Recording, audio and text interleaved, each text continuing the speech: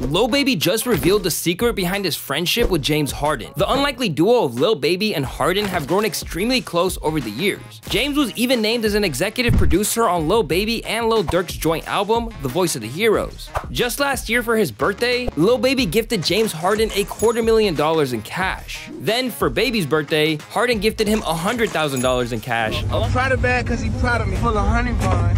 With a honey bun. You deserve it. along with a Richard Mille watch and a Prada bag filled with honey buns. However, the root of their relationship has never been revealed until now. TMZ caught up with Baby after the Grammys, and Baby explained that he is close to James Harden mainly because they both share the same sniper mentality. In other words, they both shoot their shot, if you know what he means. With the 76ers this season in full swing, the two haven't linked up as much. However, they did get together in December alongside Travis Scott at a Houston strip club. With James Harden not playing in the NBA All-Star game for the first time in over a decade later this month, maybe the two will reunite.